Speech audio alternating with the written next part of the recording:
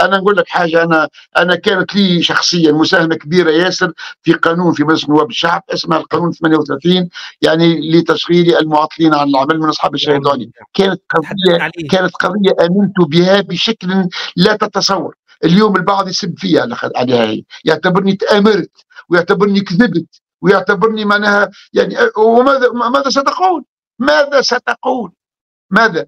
أنا ألفت كتاب آه، معناه ويمكن تو نتحدثوا فيه سميته القانون المغدور من الإنجاز إلى الإجهاز. وعملت مرة حديث معك أنت معكم أنتم وواحدة أخرى. قلت أتحدى اللي يحكوا على هذا القانون يجوا يتفضلوا. ها هي الوق... هاي الرواية نتاعه كاملة واللي عنده رأي آخر مخالف يتفضل وقلت حتى على اللي قاعدين يكتبوا على القانون وسميت بالأسماء. ولا واحد قدر يتصدى ولا يرد لأنهم يعرفوا ان تلك حقيقة.